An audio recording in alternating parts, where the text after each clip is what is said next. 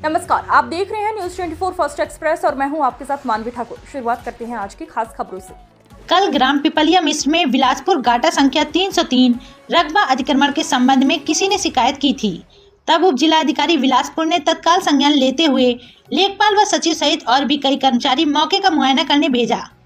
मौके पर पहुँचे अधिकारियों ने आनंद फानंद में जेसीबी मंगाई और जेसीबी से कार्य शुरू कर दिया। 303 की जगह गाटा संख्या 300 पर कार्रवाई करते हुए छोटी नहर के पास लगे किसान मुरारी लाल के पेड़ भी उजाड़ दिए। और मुरारी लाल व लोगों ने जब इसका विरोध किया तो उन लोगों ने कहा कि अगर नहर के पास अतिक्रमण है तो शुरू से आखिरी तक कार्रवाई करेंगे। लोगों की बात न मानकर अधिकारियों ने केवल नाम मात्र के लिए अपनी मनमानी करते हुए जेसीबी से नहर के गुल के पास के पेड़ उजाड़ कर चले गए। न्यूज़ 24 फ़र्स्ट एक्सप्रेस से शंकर सिंह की खास रिपोर्ट। आज की खबरों में बस इतना ही। देखते रहिए न्यूज़ 24 फ़र्स्ट एक्सप्रेस नमस्कार।